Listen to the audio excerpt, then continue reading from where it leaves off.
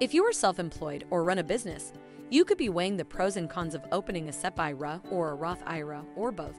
Although both retirement plans provide various tax benefits to retirement savers, you should consider how their contribution limits, distributions, and tax rules compare. You can have a SEP IRA and Roth IRA at the same time as long as you meet their eligibility requirements. You can open a SEP IRA and use part of the business earnings to fund the retirement plan.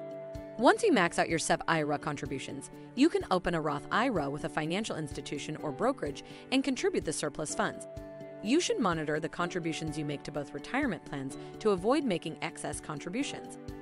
SEP IRAs are available to small business owners, and only employers, including self employed individuals, can establish this retirement plan. In comparison, Roth IRAs are available to individuals, and anyone can open a Roth IRA as long as they have an earned income and meet the income limits. Although a Roth IRA allows tax free distributions in retirement, it has a significantly lower contribution limit than a SEP IRA. Subscribe to Beagle for more informative videos like this.